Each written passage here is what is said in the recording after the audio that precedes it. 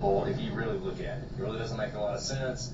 George being involved is a huge weakness in that. Period. This is my friend Mike. He's a, he's he used to play drums down on the boardwalk in Venice. Watch this.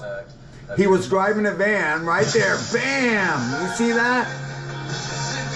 A truck hit him. A truck ran right into the back of him.